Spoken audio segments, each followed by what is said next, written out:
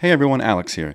Today we're going to go over one of the most popular degrees at WGU, the WGU Cybersecurity degree. Uh, this is by far one of the most popular degrees there, especially with people that want to accelerate, especially with people that follow me.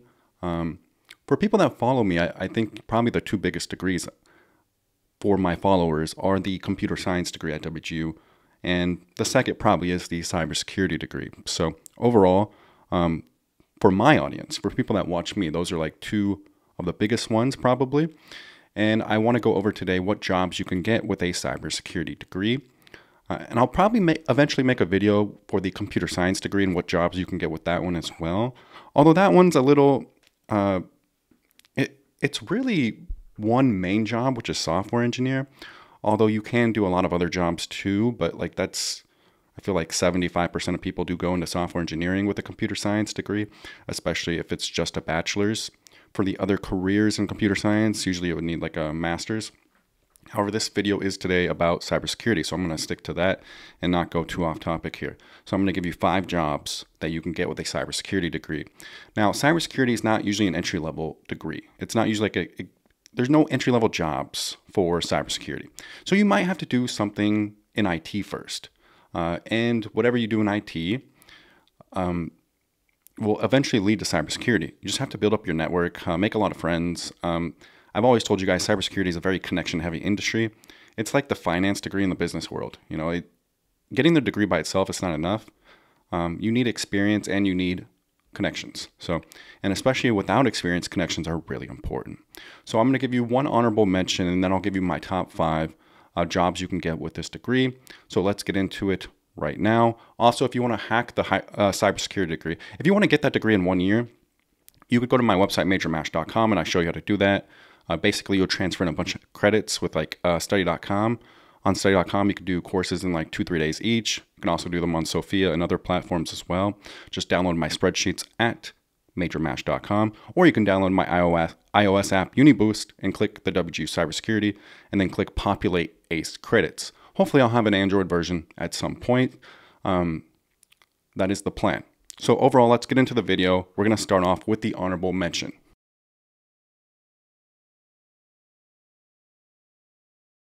So, an honorable mention here is cloud engineer. Uh, I see a lot of people become a cloud engineer with you know cybersecurity degrees.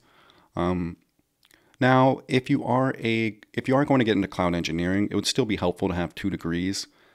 Having one cybersecurity degree is fine, whether it's your bachelor's or your master's, but the other degree should be computer science or it should be uh, information technology.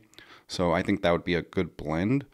Um, but even if you had just one cybersecurity bachelor's and no master's degree, it's still really possible to become a cloud engineer if you add all the cloud certs. There's a lot of crossover between cybersecurity and cloud engineering. The thing is, once again, this is not an entry level job. Now, you could apply for like cloud support engineer jobs. Um, that might be a little more entry level, but still not exactly entry level. Um, so, cloud engineer, a lot of cybersecurity degrees, cybersecurity degree holders do become cloud engineers. And it's a great job. Cloud engineering pays at least you know, most of them pay at least like 120 a year, and some of them can get very near 200k a year. So, very good job. Uh, I would just, uh, if you are, if you do want to be a cloud engineer, maybe the cloud and network degree is a little better. But overall, if you already have the cybersecurity degree, this is still a good option, and it's still very possible. So, cloud engineer, honorable mention. And the reason it's honorable mention is the other five jobs are a little more common with a cybersecurity degree. But if, if we were ranking this by salary, um, cloud would probably be like one, two, or three, and not an honorable mention. But um, the other five are more common for a cybersecurity degree.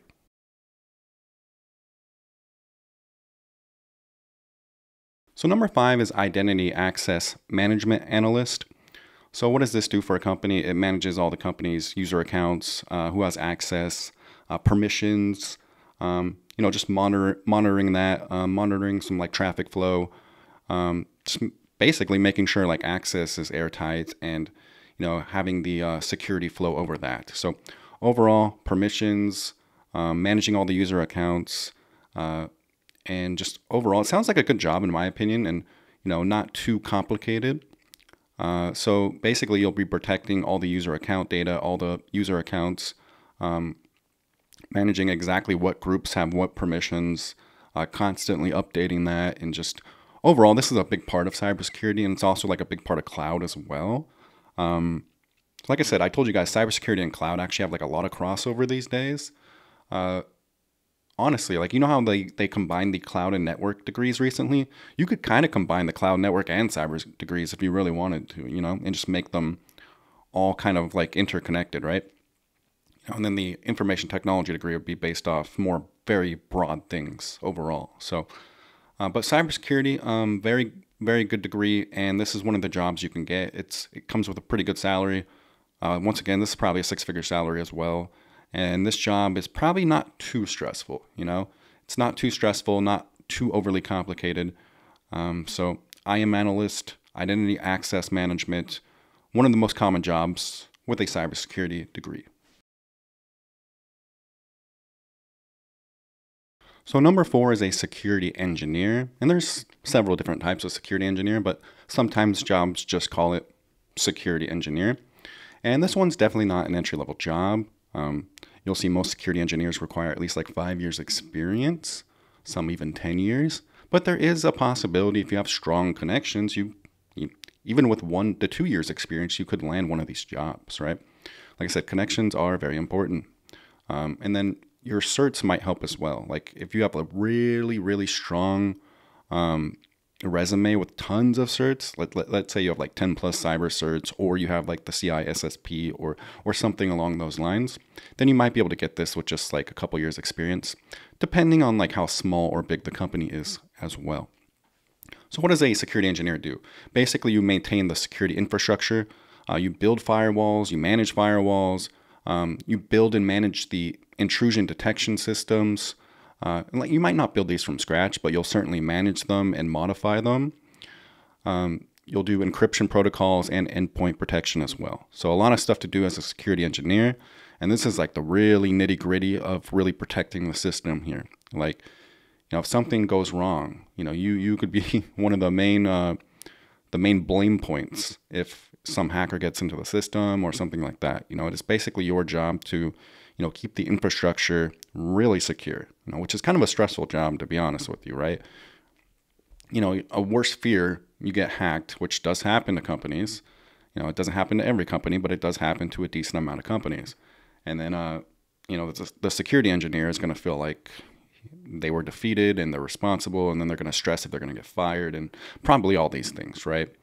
I mean, likely their job would be safe, um, but overall, um, security engineer pays really well. Like uh, anywhere from 130 to 220 probably. It just depends on the experience. I see most of the job listings probably in the high 100 range, like between 170 to 200. So overall, just depends on the company. Good salary, good career, probably pretty stressful, um, probably a lot of hours, but overall, great job. Um, just not entry level. Number three is incident response analyst. And so a, a, lot of companies don't actually have this job, but a lot of the bigger companies do, especially like high-end cybersecurity firms and big companies, etc. So what does an incident response analyst do? Basically, if somebody does intrude the system, you're the one who basically uh, analyzes that situation. So you'll investigate how the attackers got in, and you'll just probably spend a long time on that investigation. You're going to contain the damage you're going to preserve evidence for forensics and help the organization recover. So basically, you're not responsible for them hacking in. You're not responsible for that. Your your job is to find out how they did it, and then to basically go over with the the rest of the team, like security engineers, how you can patch that and fix that permanently. And overall, um, just kind of trace everything, preserve everything, um, sounds like a pretty good job if you're into like forensics slash figuring out how somebody did something after the fact and kind of piece it back together.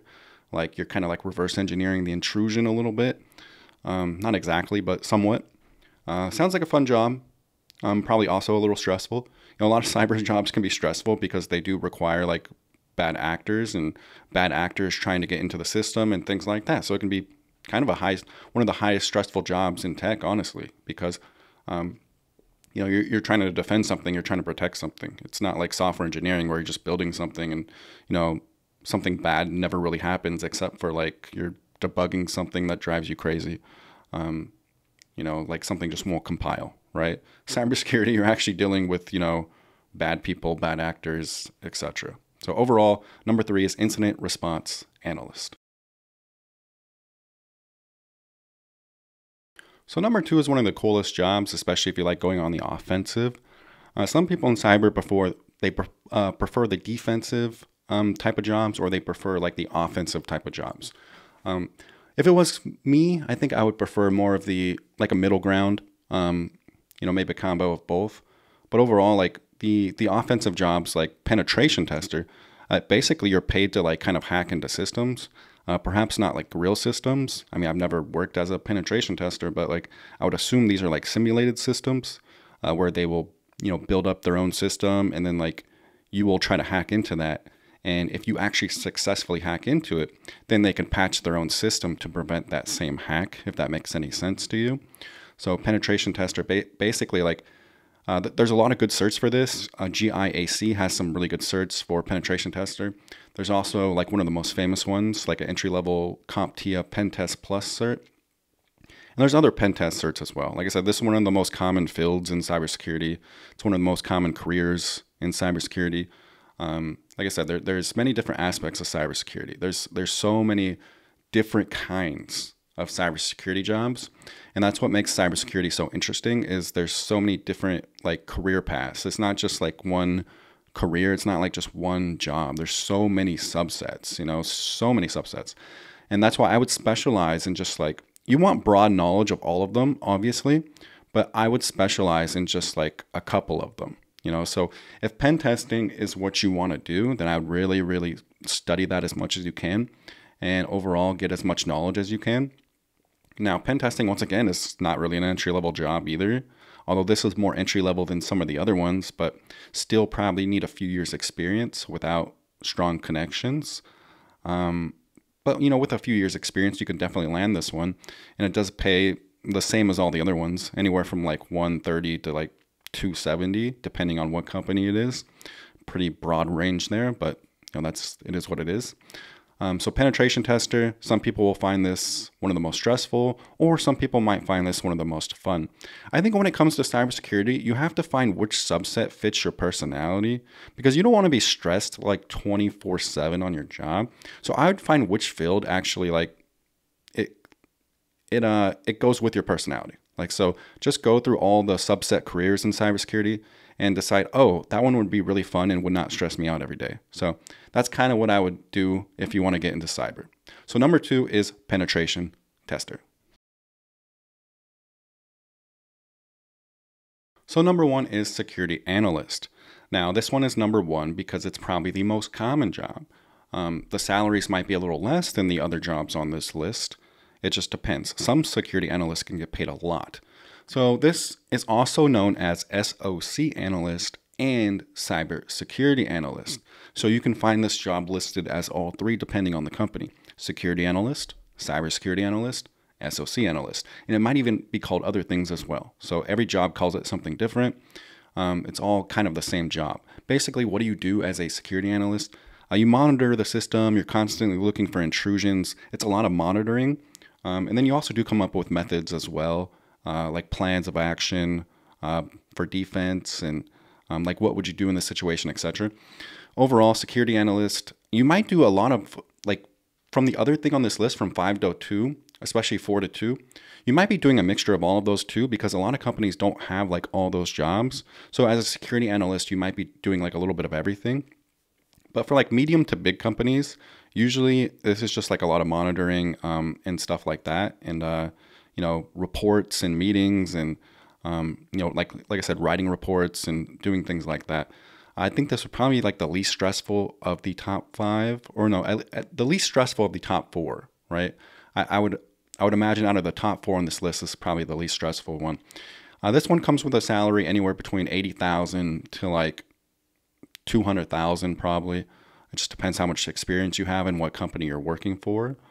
Um, overall, it's a great career and great job. And this one is probably the most entry level friendly. Now, you're still not going to get an entry level security analyst job without like some kind of strong connection or a really strong resume. I have seen people get a security analyst job right out the gate if they have a bachelor's in cybersecurity or preferably like a computer science or cybersecurity bachelor's and then like a cybersecurity master's and then have like a really good certs too like quite a quite a few good certs. But you can get this job with just a security plus cert and like maybe a couple other certs like a CySA plus cert uh, strong connections a good resume and like i said at least a bachelor degree in cybersecurity or like a bachelor's in any tech degree and a master's in cybersecurity or a bachelor's in any tech field, any uh, a bachelor's in cybersecurity, and then a master's in any tech field like computer science. So it just um, your your bachelor's and master's does not have to both be cybersecurity. I would actually recommend against that, right? If you have a bachelor's in cyber, I'd probably go a master's in something else. If you have a bachelor's in um, if you have a bachelor's in something else tech wise, I'd probably get a master's in cybersecurity, uh, etc. So, but it, it doesn't matter. That's just my opinion. That's subjective. Um, might not matter at all. So overall, security analyst, very common job, and you this is the one where you can get entry level, but it's still hard. It's it's quite hard. You really need to network, and you really need to put a strong resume together. I would suggest finding uh, like an internship. Um, you you can still get a cybersecurity internship, especially with this degree and some certs. Um, and you can find a security analyst job. So it's just a little hard. It's it's harder than it was a couple years ago, but it's still very possible. And that will be the video for today, guys. I hope you enjoyed it. Um, you know, a little different than what I usually make. You guys wanted to know what jobs you can get with every single degree, and I'm I'm trying to maybe make a few videos on that, like maybe cybersecurity, computer science, um, and then maybe one of the business degrees and um, things like that. So I'm trying to make these videos for you guys so you can understand what careers you can get and what jobs to actually like type in and search for. Uh, and so you can like specialize your skill set for that job you're looking for as well. Uh, if you enjoyed the video today, can you please like, subscribe, and comment? When you do one of those three things, especially commenting, it sends the video into the algorithm. YouTube is happy. YouTube sends my video to people that have never seen it before. Uh, my audience grows, more people enroll, change their life, etc. I've had a lot of people tell me that like my videos changed their life and they got a degree, etc. And that means the world to me. So if you guys can, you know, do one of those three things, especially commenting, uh, it helps ensure more people, more new people see it because of the algorithm. So, and then a like just takes like one or two seconds as well. But a comment is like the most important. And then if you do plan to keep watching my content, then obviously subscribing would mean a lot to me. Um, now, if you're obviously going to subscribe and then never watch a video again, then then I would suggest not doing that. But if you're going to watch any of my videos further, subscribing would mean a lot also. Uh, this is Alex. Thank you so much for watching. I hope you enjoyed it, and I'll have more content coming soon. WGU. I have a video about the top college majors coming out, like a whole big tier list, and that's not WGU specifically. It'll be like um, just a general college major uh, video. So I have a lot of good videos coming this month, um, a lot of good videos scheduled. So this is Alex. Take care, guys.